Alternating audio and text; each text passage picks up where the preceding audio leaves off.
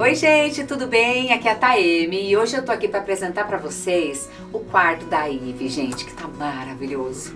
Filha, olha a Ive dentro do quartinho, do, do, do bercinho dela. Dá uma olhada. Pra Ivy eu queria realmente um quarto que remetesse ao lance do arco-íris, né? Ser o meu bebê arco-íris. Mas ao mesmo tempo eu precisava de um enxoval que combinasse com isso, né? Que fosse algo extremamente delicado, de princesa mesmo.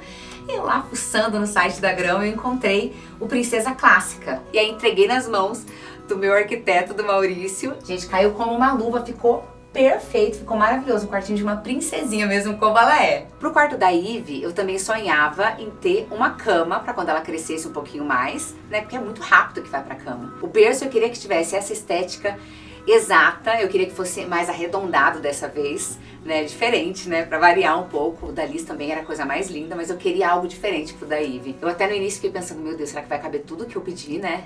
Porque eu, eu queria muita coisa num quarto só de um bebê, né? Meu Deus do céu, olha o da sua irmã, filha!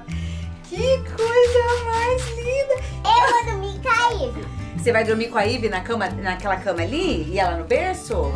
É o seu quarto!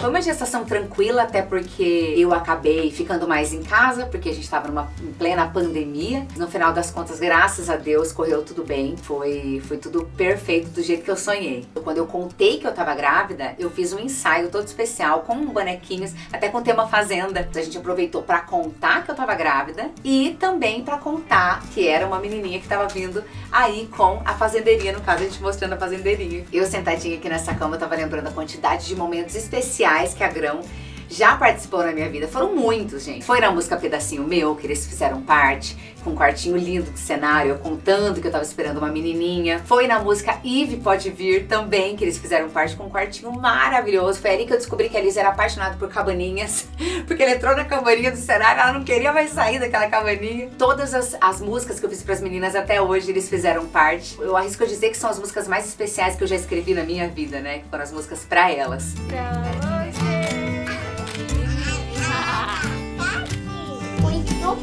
Meu